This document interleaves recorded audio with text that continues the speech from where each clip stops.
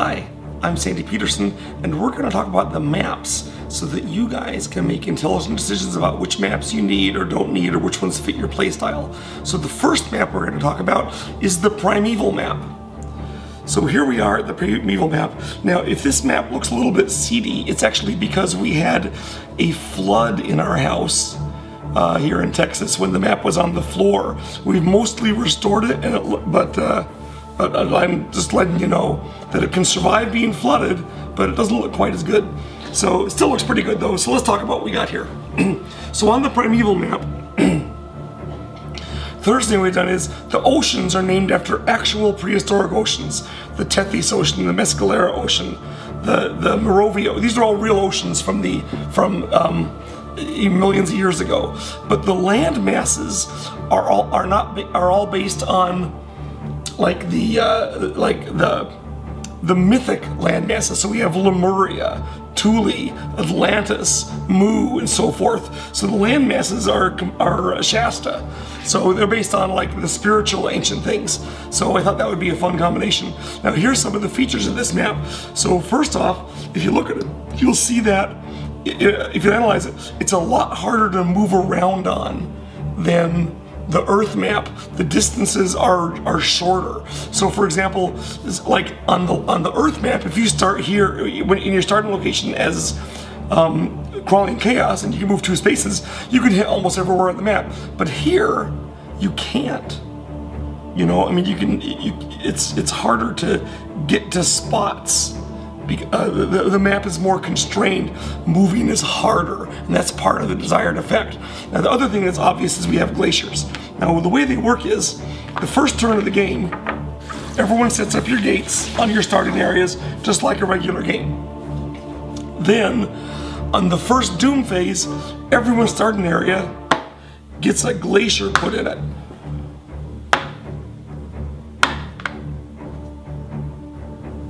For example. Okay, now the glacier sits on top of the gate, if there's a gate there, and that gate becomes abandoned. You can't have a cultus on a gate with a glacier. Then the next Doom phase, two more spaces with glaciers get glaciers chosen by the first player. So you might pick this and you might pick this. He's, he's probably to pick places that are areas that you control because he's a jerk. But next Doom phase, this and this the next, these two, and the final Doom phase, we have one left, and it would go here. And that's how it would work. So what happens is the glaciers move in, and they start filling up gates and taking away people's potential Doom points. So what happens is that here we are, here's a five-player game with all the glaciers placed. Um, and what you have is, instead of the normal 21 areas to play on, there's only 10 that are available for uh, building gates. So you're constrained in this smaller area. But here's the important thing to remember. This map is not a low um, power map because you have fewer gates. It's a high power map because all the gates, gates occupied by the glaciers are abandoned. They give everyone a power. So let me give you an example. Let's say it's the first turn of the game. Everyone builds a starting gate well, you can start with a gate, and then the next Doom phase, they're all filled in, and you have to move away and build new gates, right? Well, everyone also just got a huge power boost because let's say that your first turn, um, you build you you build one gate. That's pretty typical. So you go into the second turn in the gather phase, you have six cultists and two gates for 10 power. Then, um, the next turn, you have a gate or two, and you have five extra power from the abandoned gates and the next turn is like seven extra power from me, however many and so everyone's getting this giant power boost every turn. It's very rare to need to get um, use the minimum power rule on this gate. Everyone has a big amount of power, but here's the other feature: you have a lot of power because of the abandoned gates, but you also don't have very much area to fight over. So the fighting becomes really intense over the areas that are left. There's a there's there's there's combats and capturing and and Shub-Niggurath's as avataring and and, and everyone's doing all these terrible things because you have to get these few areas. The other feature of this map that I find very interesting is that it almost never ends by reaching 30 doom points. Instead, it ends because the because everyone is doing lots of uh, uh, rituals of annihilation. Okay, and so it ends because you get to the. I would say that 80% of the time this game ends through rituals of annihilation. Typically, it takes about the same length of time to end, but you're doing that instead because because of the of the paucity of gates, elder signs are proportionally much more important for victory. So typical games end with people having like 20, 25 points, and most of it's elder signs, and you're fighting over the area, and it's really intense. So if you like Cthulhu War distilled down to a highly aggressive essence, when I say it's intense, it's not just combat, it's all the different abilities people have. Yellow Sign and Black Goat, although they're not combat are not at a disadvantage in this gate because they have other things that are really nasty they can pull off. So the game is full of of, of this stuff, and it's really high powered, and that's how it goes. Now, one more thing, you may notice that we have 13 of these uh, of these glaciers, not 12, but there's only 12 areas. 12 areas of glaciers. Well, the reason is because every starting area gets a glacier. So if you're playing with Opener of the Way, he can start anywhere in the map. So he starts somewhere without a glacier, he still gets a glacier on his turn, and so that's why that is. Um, some people have asked what will happen on the 6 to 8 player map, are there enough glaciers for it? The answer is yes, there's enough glaciers for it, because the 6 to 8 player map still has only 12 glacier locations, but when you go up in number, it doesn't increase by as many areas as a normal 6 to 8 player map. So you're still highly constrained and intense in the remaining areas. And that's how that operates. So that's how the Primeval map is. Let's go on to Dreamlands. Hey, here's Sandy Petersen again, and we're going to talk about the Dreamlands map. Now, the Dreamlands map has a lot of interesting features. The first is that these two map boards are not adjacent like on the regular Earth map or any of the other maps for that matter. Instead, they're separate levels of the same world, so that this map is actually above this one, theoretically speaking. Okay? Um, which means that the maps have corners. Like if you're here in the Sea of Dawn, you can't move off this way and come in on the other side. So it's it's uh, there's not there's there's like pockets you can hide in the corner on the map, unlike any other unlike other maps. So that's kind of a, a uh, interesting feature. The other is that of course you still have to have a way to transport between this map and this map, and you've got it in the form of tunnels. There are these black things that look like like trapdoor spider holes or something, and there have a letter on that shows what they connect to. So the Enchanted Woods has the C tunnel that connects to the Tower of Koth. Zura has the A tunnel that connects to the ruins of Karoth. So you can move from the Zura to the ruins of, uh, of Karoth and back again, and that's, that's how it works, right?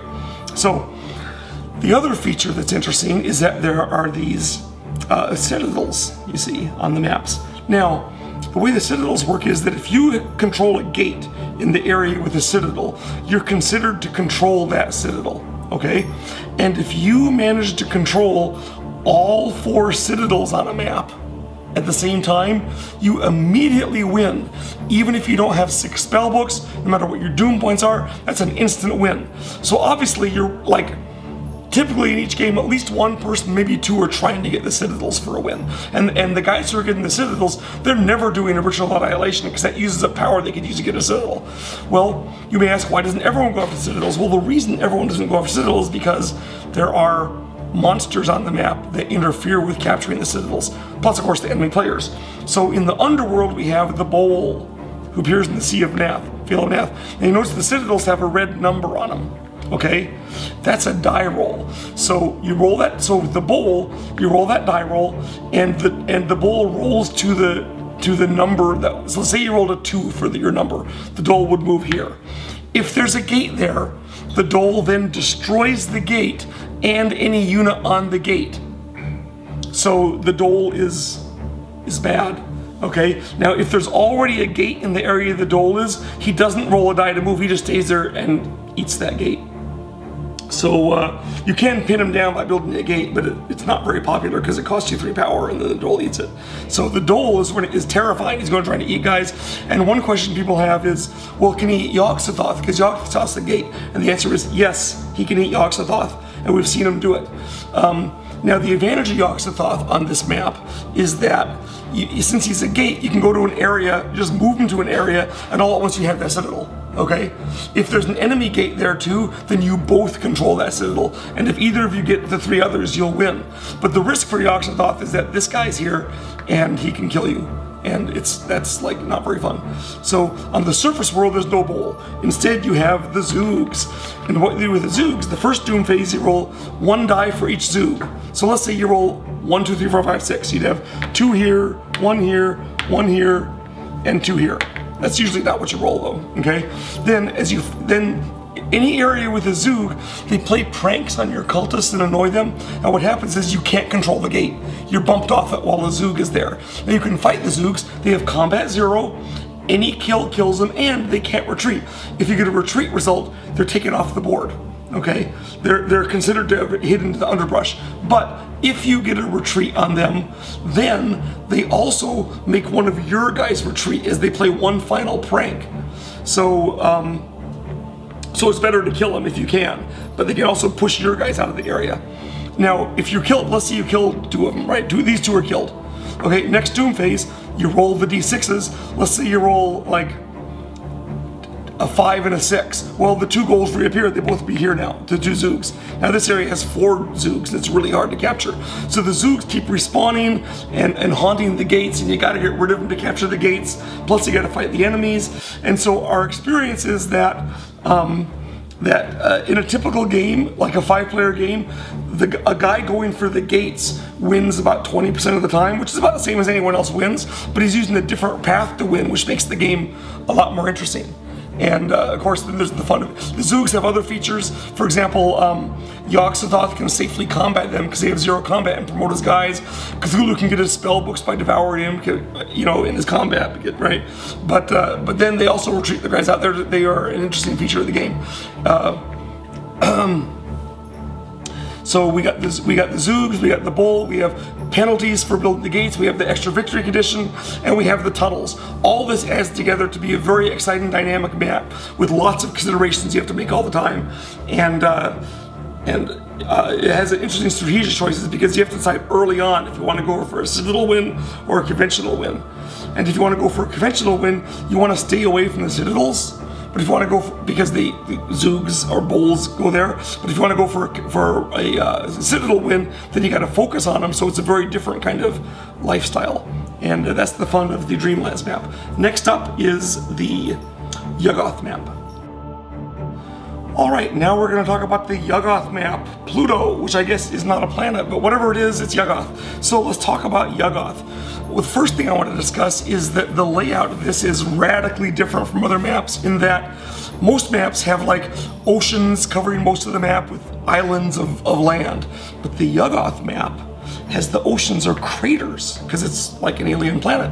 And so like there's all like oceans aren't adjacent to other oceans. They're separate. They're separate little areas, which poses an interesting, uh, um, not a puzzle, but like the way you play is quite different because suddenly um, Yellow Sign doesn't have to cross the empty oceans in order to go get his spell books. Cthulhu has to plan differently how he's going to move around. There's uh, there, uh, which is by the way is why so many of the uh, Starden are in the ocean. So Cthulhu won't have a problem building this. Like other guys will often build gates for him and helps him get a spellbook. But uh, but the but the cratered oceans really make the game feel different when you're moving around. Let alone the other features of this map, which now you're going to go into. So the the the most the most obvious feature of this map is that it has a laboratory do do do. In the laboratory, whoever controls the gate on the laboratory, which could be Yog-Sothoth if he's there, can do the surge reaction. This costs one power and turns as many cultists as you want, well up to four, into brain cylinders. There's the brain cylinders. These are the purple ones, so these would be Yog-Sothoth, so the opener of the ways brain cylinders. There's 28 brain cylinders in the pack, so you have four for each faction. Now, uh, your cultists go off the board. Now the way a brain cylinder works, it's got a combat of zero like your other cultists. It, now it can't move on its own. Okay, it can control gates, generates power, but to move a, a brain cylinder, you have to um, move it with another unit of yours. Now it moves for free then. So if you had like, say you had your four brain cylinders in area and you moved Yog-Sothoth moved a mutant from here to the radiation waste. Well, all four brain cylinders could go along with him if you wanted, or you could leave one behind. It's up to you. So they're they're cheap to move. Um, the other thing is they can't be pained. So if you're ever in a combat and uh, the other guys are pained out, you can't target pains on brain cylinders. so they tend to be left behind after a battle. And the other feature is when you capture a brain cylinder, say that, uh, for example, Yox, uh, uh, Black Goat captured one of these cylinders. Well, you can either capture it normally and, and sacrifice it, or you can simply replace it with your own brain cylinder. And then you have a new cultist on the map. So even if only one guy has the lab, other people tend to be captured. They're easy to capture because they get they don't get pain, so they stay behind where your units are if you want to fight. And then they start to get captured and, and join your side. And then you have these extra units. And of course you can re-summon your cultists you, you did surgery on. So you can you can potentially have 10 cultists on this map. It, it's hard to do, but it's possible. So uh, so that's the fun of that. Now um, you may ask, well, what about the Tcho-Tchos? Do you have a Tcho-Tcho things in this? And the answer is we don't have Tcho-Tcho brain cylinders in the Yuggoth map, but if you buy the Tcho-Tcho expansion, it comes with four Tcho-Tcho brain cylinders. So they can be they can be cylinderized just like anyone else. Um, another interesting thing we've done here is we have, though I don't see it, we have provided a laboratory token for the players that you can use to put on other maps to have a laboratory if you want if you want to try the, the surgery option on other maps. It's not official rules, it's just we had space on the counter sheet and we said, hey, let's give the players a break. We did that. Okay, the next feature I'm gonna talk about is the Slime Sea and the Slime Sea Overlook. Okay, now if you look here, there's an image of us, here's the slimes, jolly little guys. Here's the little slimes, okay? There's six of them. Now, see the slimes have a little picture of a slime in the areas. That's where they're summoned okay? But there's also the universal no slimes image here. No slimes can move to the slime sea overlook. Now they can be retreated there or carried there by movement-like abilities like submerge or whatever, but they can't move there on their own. Now how the slimes work, if you control a gate on the slime sea, and this time, if if there's if Yog-Sothoth is there with another gate, then the, the real the real gate controls the slime sea overlook, not Yog-Sothoth. So like Yog-Sothoth's got to kick at the guy, right?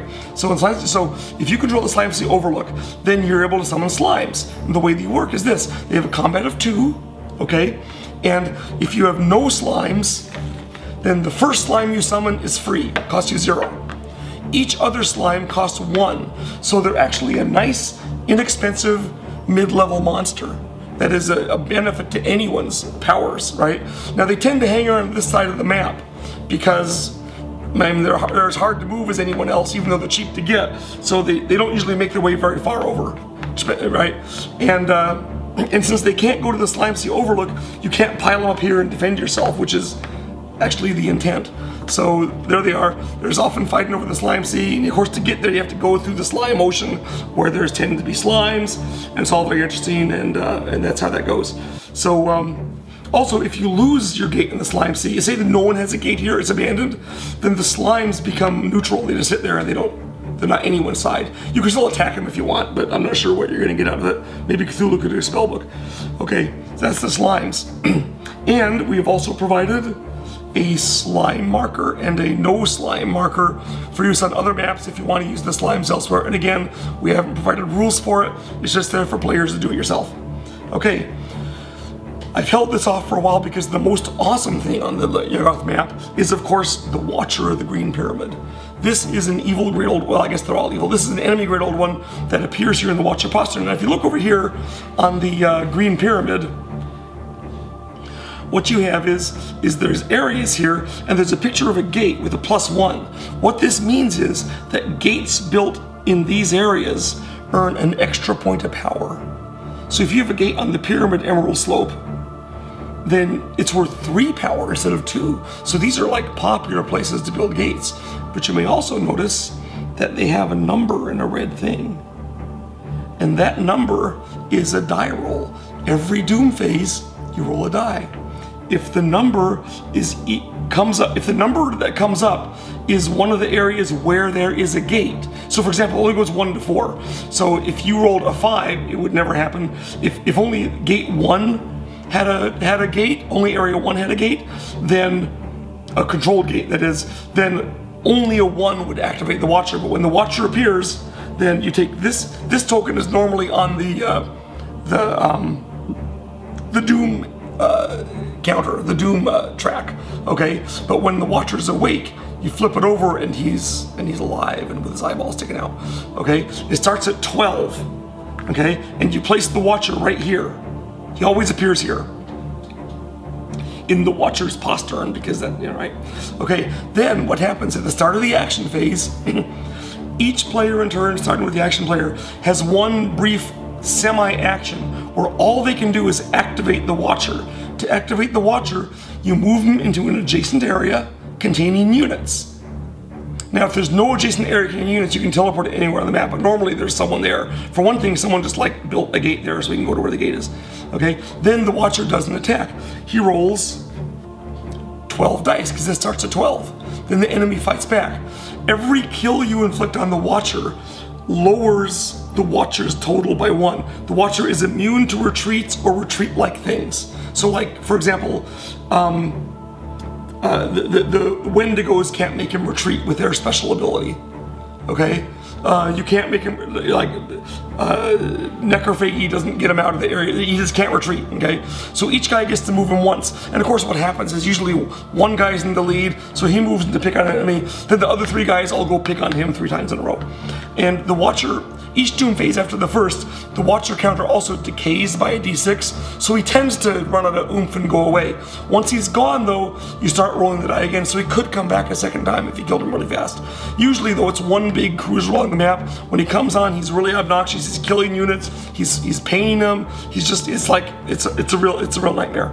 So that's the fun though, because the Watcher really, for while the Watcher's in play, he's a major factor in everyone's uh, considerations, which I like. So this map has three like related alien things that that that all give you special cool abilities that are that are worth fighting over. But of course, the problem with them is that they're like they're disadvantaged associated with them. All other guys want to focus on them, and so the map is has, uh, has is it's more tactical in a sense than the Dreamlands. You're not making the, a big strategic decision. My strategic decision is I want to control the pyramid because you can't because the Watcher comes driving you off. But you technically say I'm gonna get the pyramid for two turns, then I'm gonna run away before the Watcher comes. Except of course you always spend one turn too long and he gets you right. But but. Um, but it's all about tactical tactics, moving around, taking advantage of, of, of, current events. Is hey, there's no there's no slimes in the South Slime Sea right now. I'm gonna try to get through there to get you know that kind of thing. So it's uh it's very fun, very interesting, weird abilities.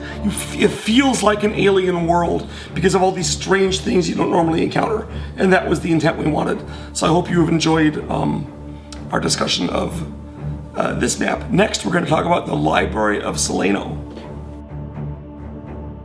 Hi, we're going to talk about the library at Celaeno. First, I got some caveats. We actually had a nice laminated map that, and then after some playtests, I decided I needed to change the map.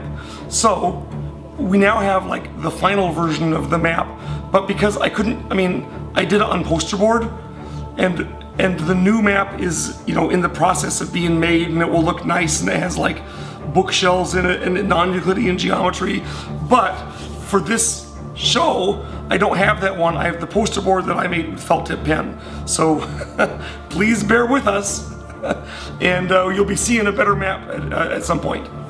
So now we're gonna look at this map. Okay, so this map, kind of like the Dreamlands map, has an upper floor that's this, and a lower, in fact I should put the upper floor above it, so we'll do it that way. Upper floor and a lower floor okay? Just like Dreamlands. And it has corners like Dreamlands because it's one building. I mean, it's a giant building, probably miles across, right? Maybe hundreds of miles. Well, kilometers for our European friends, but you get the idea. So on this map, there's a number of interesting things.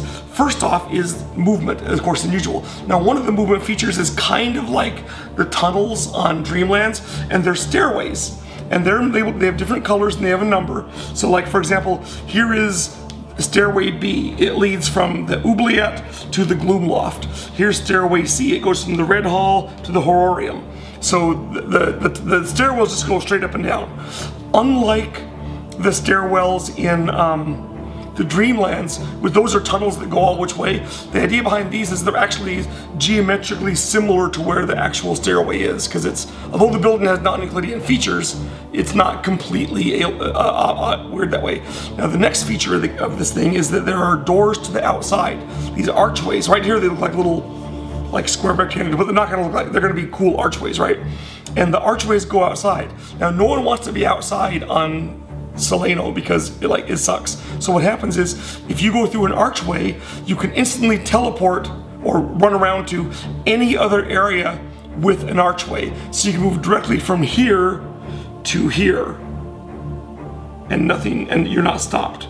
Or from here to here and you can and that's that's another way of moving. So you have the stairs and you have the archways. Now you some questions you may have is first off is what about oceans for Cthulhu? And so well we have them. See the basement is flooded and then there's a fountain here and an overlook of the Lake of Hali, so there's water. That's what the blue things are here. So there is oceans, well, oceans on the map that Cthulhu can use. Remember, hundreds of miles across, right? Big, big library. All right, so um, the next thing is, of course, is that we have books you can check out. So here are the four special collection rooms, all on the upper floor. We have the the ear, the ear and the unger. We have the barrier of Naach-Tith. We have the larvae of the outer gods, and we have the guardian under the lake. And each of these have a special book associated with them. Now, if you control the gate in this room, you get that special book. It's not one of your spell books, it's put next to your faction card, and you control that book. And all of these books are really powerful. They're way better than a regular spell book. Okay? So they give you a real edge.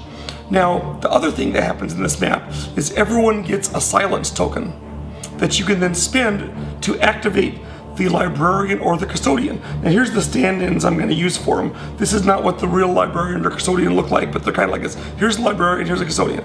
So the custodian, what he does is uh, you teleport into any room, and then you roll the agony die, which is a score of one to four that many units in the, it cleans up the area. That many units in the area must go to the oubliette. So the oubliette is where he sends all the troublemakers and all the things. So so the so as, as people are moving the the um, uh, custodian around, their, their, units tend to accumulate in the oubliette and get and get shoved there. And of course, a really common place for him to go is to one of the uh, one of the libraries to send, so you can use, lose your guys in the in the book room and go to the and then of course you've lost you've lost your date there. Well, you still keep the book; it just becomes overdue, and you can still keep using the ability. And of course you want to because they're great abilities. But th this is where the librarian comes into play. And the librarian is also activated by silence tokens, but he can only go after a person who has an overdue book okay? Now, uh, these units, so the librarian, these units work a little, the silence tokens work a little bit like controlling the Watcher and Yuggoth, except with the Watcher, everyone controlled him once in a row at the very start of the turn. With the librarian and the custodian, each person can activate one of them once, but it can be any time during the turn because it's whenever you spend your silence token. And since you can't accumulate silence tokens and they cost zero to use, you, you never want to finish your turn without having to use your silence token, So they're always everyone's using them. Now, what the what he does, he goes to the area where you have, where the where the, the the cheater has the guy that's not returning his book, and he rolls the agony die too. But his agony die doesn't into the oubliette. It can it can kill units, it can cost doom points, or it can um, force you to return the book. Your choice. So in this map, you have an interesting uh, ma uh, map with areas kind of awkward to get to because there's so many little rooms, but you do have movement abilities with, the, with stairwells and the archways that let you zip all over the place. And then you have these monsters going around causing trouble and doing things. And then you have these awesome new spell books that are, are are world changing that get stolen away from you because you've lost your um, you, they go over to and the librarian comes after you. So there's a lot of decisions to make. There's which rooms you want to go to. I know one player that likes to not get the books, which I think kind of handicaps him, but he, at least he's safe from the librarian. So that's how this works with silence tokens and custodians and the librarian and the new books that do of do various things. I think you will enjoy it. We've really liked it, and uh, we'll be uh, seeing you on the tabletop.